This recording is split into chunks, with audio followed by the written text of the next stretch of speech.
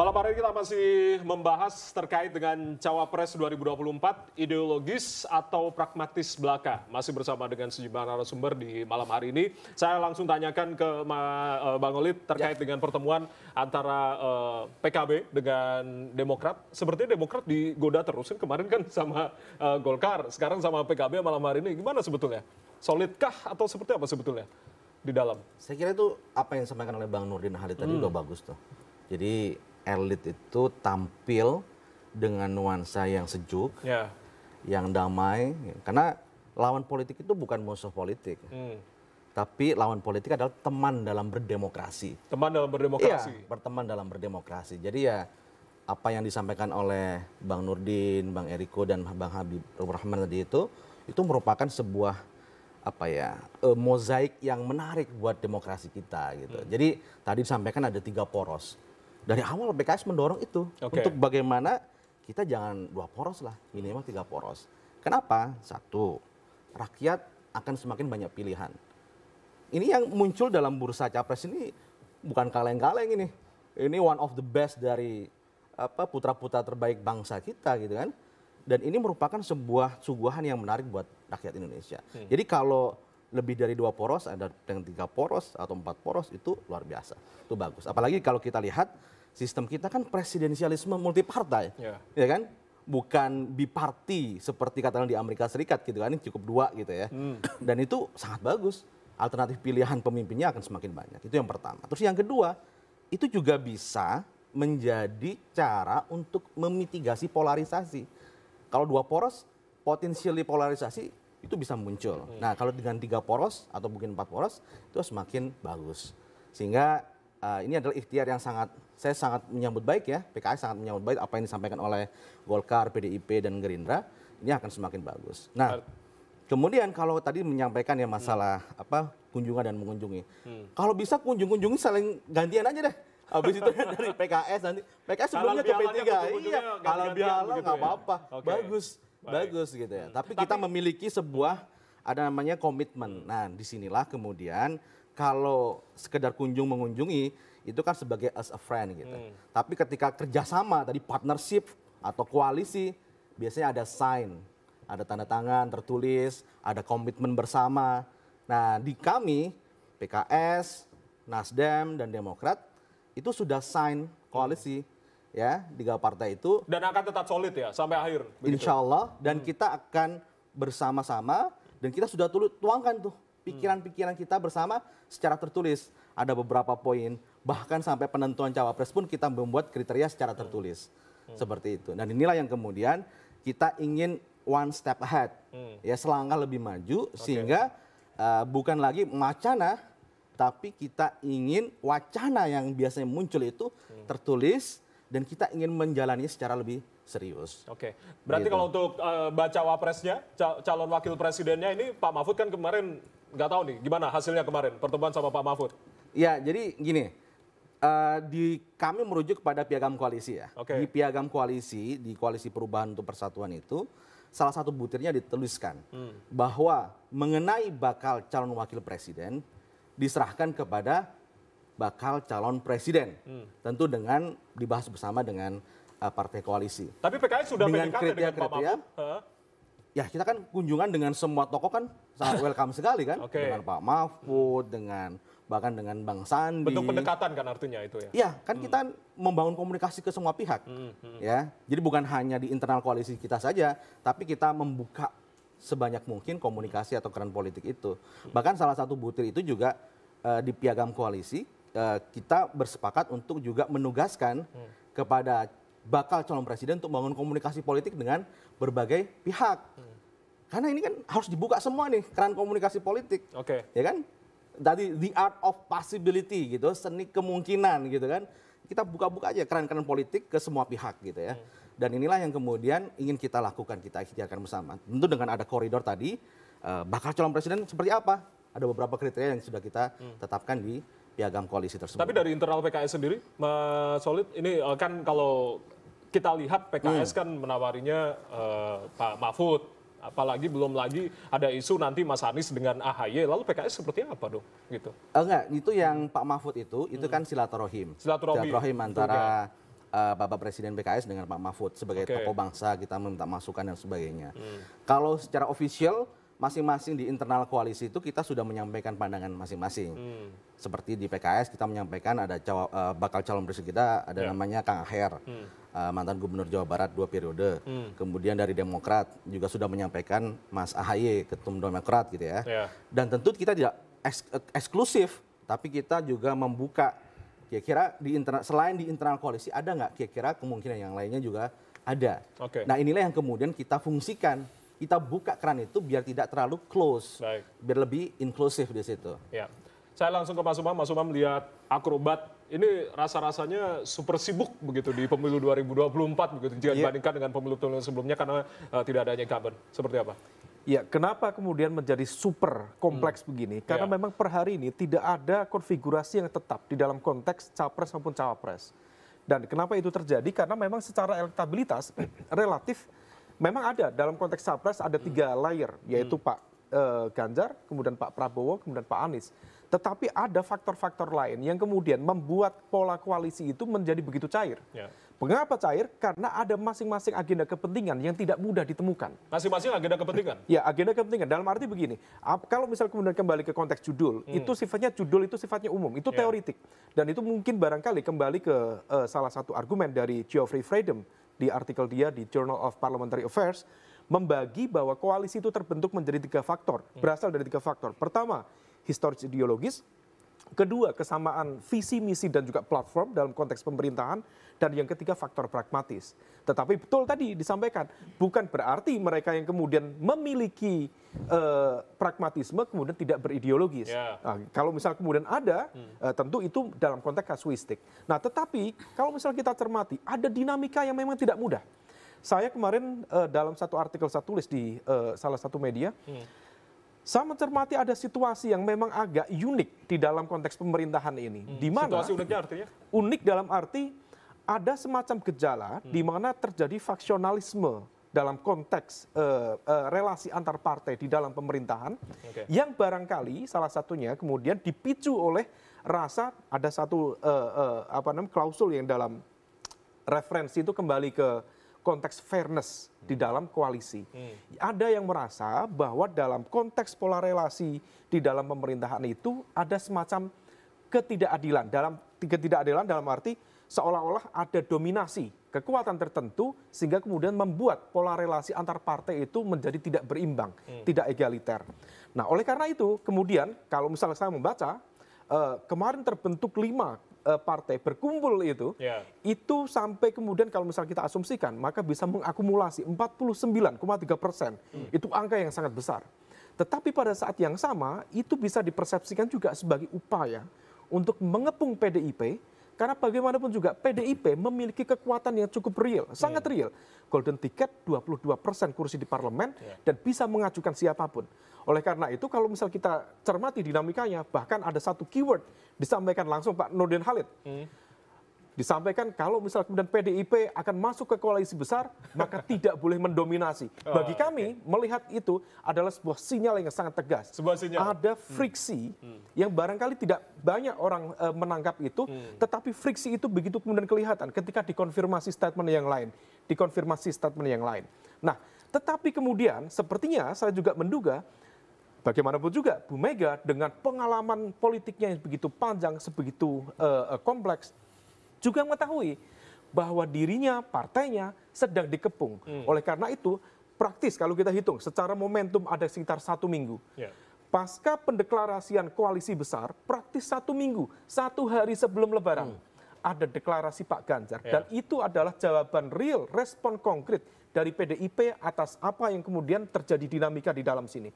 Nah, dalam konteks ini, eh, saya menduga betul memang Pak Jokowi hadir di PDIP dalam konteks deklarasi Pak Ganjar, tetapi sepertinya, sepertinya ada semacam kekecewaan dari sejumlah partai-partai di sekitar eh, istana Oke. yang berharap sebelumnya berharap Ya. Pak Jokowi bisa menjadi political broker sekaligus deadlock breaker ketika kemudian berharap ada mengawinkan kekuatan antara Ganjar Pak Prabowo atau Pak Prabowo dengan Pak Ganjar.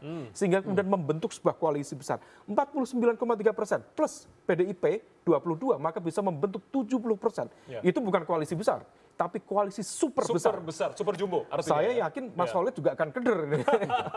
nah, oleh karena itu, nah situasi ini kita Ah. sudah duga sejak awal. Hmm. Jika PDIP menentukan sikap, Ya. menentukan langkah, itu bisa menjadi game changer di dalam konteks dinamika koalisi. Hmm. Karena bagaimanapun juga sejumlah pihak bisa mencoba bermanuver, tetapi ketika PDIP bersikap, maka kemudian banyak kuncian-kuncian langkah itu yang selama ini mengalami stagnasi, akhirnya kemudian sekarang mengalami dinamika yang sangat luar biasa. Artinya masih belum terlihat eh, sikap dari PDI. Seperti Nah, apa begitu? terkait dengan artinya? ini, saya ingin mencoba merespon. Bagaimana dengan KIB? Ya. Mohon izin, eh, Pak Nurdin. KIB betul solid. Tapi kalau misal kita cermati, batas antara solid dan sulit, Sulit dan sulit susah ya. itu Satu agak, satu itu agak tipis itu. Iya. Artinya apa? Betul memang solid, tetapi bagaimanapun juga kita cermati sejak eh, awal. Nah, Tidak mudah memang kemudian mengelola sebuah koalisi kalau misal tidak ada basis platform dengan juga eh, capres yang juga konkret. Nah, maka kemudian dukungan P3 terhadap eh, pencapresan Pak Ganjar di PDIP, iya. bagaimanapun juga itu adalah sebuah evaluasi yang konkret atas soliditas KIB. Oke. Bagi saya pribadi, mencermati situasi ini, KIB secara de facto sudah selesai. Tetapi secara de jure belum selesai. Ya. Kenapa? Karena merujuk pada klausul yang ditandatangani tiga ketua umum partai, Golkar, PAN, P3, Ya. akan selesai jika nanti sudah clear Golkar akan mendukung mana, kemudian PAN akan mendukung mana. Jika terjadi split, ada faksionalisme, maka kemudian di situlah letak de facto dan de jure dari berakhirnya KIB. Oke. Nah, tetapi Baik. bagaimanapun juga situasi ke depan tampaknya akan sangat ditentukan oleh Golkar. Kalau Golkar melakukan langkah-langkah secara all out, saya mencermati Bapak izin setidaknya beberapa langkah yang bisa dilakukan Golkar. Pertama, meyakinkan kepada pihak Gerindra supaya kemudian betul-betul Pak Prabowo bisa menerima Pak Erlangga Erlangga. sebagai cawapres. Yang kedua, memastikan apakah kemudian dalam konteks ini tersisa adalah PAN. Nah, Dan kita tidak bisa menghitung PAN sebagai sebuah entitas tunggal. Oke. Memang tidak mengajukan Pak eh, Zulkifli Hasan, Zulkifli Hasan, ya. tetapi ada nama yang selama ini membayang-bayangi. One of them, salah satunya adalah Pak Erick Thohir. Ya. Kita tidak tahu apakah ada skema eh, transaksional di belakangnya, Oke. ataukah ada skema naturalisasi. Sekarang lagi musimnya naturalisasi, Mas. secara politik yang begitu cepat. Nah, benar. kita akan lihat itu. Oke. Kalau misal kemudian Golkar dengan all out segala pengaruh, segala logistik bisa Ya, mencoba meyakinkan itu, tidak menutup kemungkinan akan terbentuk poros kekuatan baru. Oke. Jadi bukan hanya tiga kekuatan, tapi bisa menjadi empat koalisi. Oh. Tentu targetnya bukan target menang. Secara realistis bukan target menang. Tapi? Tetapi target untuk pertama mengonsolidasikan basis pemilih di sel-sel eh, masing-masing politik. Yang kedua, tentu mendapatkan logistik kekuatan politik. Dan yang ketiga, bisa masuk dalam putaran kedua. Ya. Tidak harus menang, tetapi ketika masuk di putaran kedua, di situlah mulai tersibak secara clear. Hmm. Mana capres-cawapres yang memiliki kekuatan dan potensi menang lebih besar. Oke. Di situlah keberpihakan mereka akan dilakukan. Empat poros kemungkinan dari Mas Umam ya. Minimal tiga, Minimal maksimal tiga, empat. Maksimal empat. Saya minta tanggapan langsung Bang Nurdin Ali terkait dengan apa yang tadi sudah disampaikan Mas Umam sebelum nanti Bang Eriko dan juga Bang Habib. Ya, saya luruskan sedikit soal eh, komentar Nyoman mengenai eh, koalisi besar deklarasi pada saat itu. Jadi waktu itu belum deklarasi. Ya. Itu baru wacana, ikhtiar, ya, niat suci dari lima partai ini untuk eh, melahirkan, menghadirkan koalisi eh, kebangsaan atau koalisi besar ketika itu. Jadi belum ada sama sekali soal deklarasi. Nah, Nah itu apakah berlanjut? Ya sampai sekarang masih eh, dilakukan lobby-lobby politik itu. Tetapi dengan eh, bergabungnya P3 ke PDIP yang saya bilang tadi normal itu, tapi belum tentu wajar. Gitu. Belum tentu wajar. Ya, itu, eh, itu berarti ini kan sudah berkurang satu. Nah, apakah masih dikategorikan sebagai koalisi besar atau koalisi kebangsaan? Yang pasti tadi bahwa ada koalisi utama, yaitu PKB dengan eh, Golkar. Golkar, Dan itu sudah oke. sudah dinyatakan oleh Caimin dengan eh, apa namanya dengan Pak eh, Erlangga Hartarto. Nah, Di dalam eh, ada sebuah memang eh, demokrasi kita ini dibangun di atas multi partai. Nah, oleh karena itu lobby-lobby politik, negosiasi politik itu sangat menentukan. Dan dalam politik itu, menurut ahli komunikasi politik, ya itu kepentingan. Ya. Nah kepentingannya apa itu? Siapa dapat apa? Kapan mendapatkan dan bagaimana cara mendapatkan. Nah ini yang dilakukan oleh para ketua umum partai yang dipertontonkan di negeri ini yang menurut saya luar biasa Ya. untuk untuk eh, ketentraman, kedamaian, kemudian rakyat bisa me- menilai bahwa demokrasi kita memang multi partai tapi para elit ini bisa bisa berkomunikasi dengan sangat baik dalam bentuk silaturahmi dan sebagainya. Itu dilakukan oleh para elit politik itu dengan dengan sangat baik. Nah, oleh karena itu eh, Partai Golkar eh, insya Allah ikut dalam kontestasi politik apakah capres sampai sekarang tetap kita eh, capres Pak Erlangga Hartarto apakah cawapres minimal cawapres tapi ini semua ditentukan oleh Pak Erlangga Hartarto kemudian nanti akan disampaikan di dalam eh, konstitusi partai. Oke, saya minta tanggapan langsung Bang Eriko terkait dengan benarkah PDI digepung begitu Jadi kata Mas begini, Bung Jaya, tadi saya udah berharap sama Mas Hoirul Umam ngomong tiga, tiga terus. Tapi akhirnya ngomong empat. Padahal kalau tiga itu kan PDI Perjuangan. Tapi satu hal, Iya. beliau mendudukin kursi yang warnanya merah. Jadi paling tidak, eh, ya Mas Umam, Tapi kan batiknya, namanya, ada batiknya juga berwarna-warni. Iya, Ada itu. Kuning, putih, Tidak ada merahnya, tapi tempat duduknya merah. Kan? Iya. Kita tunggu Semua batik dari merah. merah. Jadi Bung Jaya, saya mengawali tadi, Iya. kalau kita bisa melihat Hmm. uh, lebih jauh, bahwa di Indonesia ini sistem dan juga yang terjadi unik. Ya, Itu tadi kan yang Mas Hoirul Umam juga sampaikan kembali. Tidak ada di dunia mana pun yang namanya berkompetisi kemudian juga bergabung. Hmm. Nah, ada hal negatif juga dalam hal ini. Tentu ada. Artinya begini, semua akan berpikir, ah nanti juga akan bergabung ini. Begitu. Jadi kompetisi itu sudah pasti tidak akan sekeras 2019. Itu satu. Tapi ada hal juga yang positif. Apa hal yang positifnya? Inilah. Semua bisa membentuk yang namanya kerjasama tiga kah, dua kah, empat kah. ya. Why? Karena berpikir gini Mas Hoirul Umam, besok-besok saya bisa bergabung bersama siapa pun yang menang. Nah, tapi inilah yang menurut saya keliru. Belum tentu nanti yang menang akan menjadi seperti itu juga. Karena kenapa? Setiap ini ada masanya, ada eranya. Belum tentu nanti itu sesuai lagi. Oke. Nah, ini juga nanti yang dalam perkembangan ini, ini menurut saya ya, perkembangan ini akan dihitung oleh partai-partai ini. Makanya tadi saya kurang setuju kalau ideologi dan pragmatis itu dipisahkan. Ideologi itu jelas. Tapi bahwa pragmatis di sini jangan dianggap pragmatis sesuatu hal yang buruk. Ya. Tetapi bahwa semua partai akan berpikir untuk menang, Mas Hoirul Umam. Tidak ada yang mau kalah di sini. PKS juga tidak mau untuk kalah. Kalau dia pikir untuk kalah, dia pasti juga akan berpikir lain. Untuk apa? Why? Karena memang kita harus jujur. Itu yang sering dilakukan langkah oleh Golkar. Bahwa yang memenangkan itu pasti diuntungkan. Selama sekian lama. Dan juga kita tidak bisa abaikan yang namanya kotel efek itu. Kami di PDI Perjuangan, apa pun ceritanya. Sekarang dengan Bapak Presiden Joko Widodo, Ya. 80% lebih loh hari ini. Apanya? Eh, apa? Approval rating. Untuk approval ratingnya. Iya, belum approval pernah terjadi dalam sejarah. 82 persen. iya. 82. 82 persen. Nah coba lihat PDI Perjuangan oke lah mungkin semua katakan ah itu kan survei Bang Eriko belum tentu benar. Ya. tapi naik. Jadi ini juga yang akan dihitung oleh partai-partai ini. Lihatlah nanti Mas Arul bahwa keunikan ini setuju. Oke. tapi ini juga nanti akan dipertimbangkan apakah akan terjadi terus seperti itu. Belum tentu. Pak Jokowi melakukan itu sebagai kader PDI Perjuangan. Tetapi yang nanti memenangkan belum tentu memilih jalan yang sama dalam hal baik. mengajak semua itu untuk juga bersama-sama. Ya. Karena konsekuensi-konsekuensinya juga ada. Nah, jadi sekali lagi saya sependapat bahwa calon wakil presiden ini memang penting. Bahwa memang ini juga akan mengisi ruang-ruang kosong daripada si capres. Tetapi sekali lagi, ini juga yang harus diperhitungkan dengan baik oleh partai-partai. Tidak boleh juga ada yang namanya dua kapten dalam satu kapal, Bang. Ya. Betul kan? Tidak boleh seperti itu. Baik. Bahwa melengkapi, Ya. yes. Nah, menyambung sedikit ini. Iya. Jangan sampai salah juga Ya. Jangan sampai cawapres ya. salah memilih Baik. cawapres. Jadi ya. menyambung. Ya. Di dalam survei yang terakhir ini, Ya. tingkat kepuasan kepada presiden itu luar biasa, 80 persen. Nah, kenapa 80 persen tingkat kepuasan? Karena ekonomi stabil, ya, hukum stabil, penegakan hukum stabil, Baik. keamanan stabil, sosial stabil.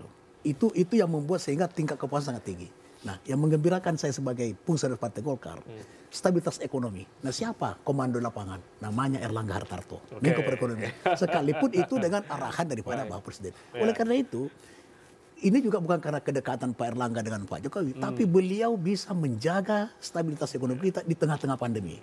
Pertumbuhan juga tercapai, tidak semua negara bisa seperti itu. Nah, oleh karena itu stabilitas ekonomi salah satu faktor utama daripada tingkat kepuasan yang 82% itu. Oke. Presiden Jokowi Jadi menarik ini, Harusnya harusnya dengan prestasi itu Pak Erlangga cocok Dan memang sebagai survei juga. capres Ya, bukan cawapres tapi kan- artinya ya. Tapi kan Iya. itulah Atau seperti apa? Tapi itulah Jadi Bung cawapres pun bisa, cawapres juga bisa. Tapi Oke. itulah Bung Jaya. Iya. Sekali lagi, seorang teknokrat Iya. belum tentu sesuai untuk menjadi yang memimpin. Nah, itu dia. Tetapi yang mempunyai kemampuan lengkap ini adalah Oke. Pak Jokowi.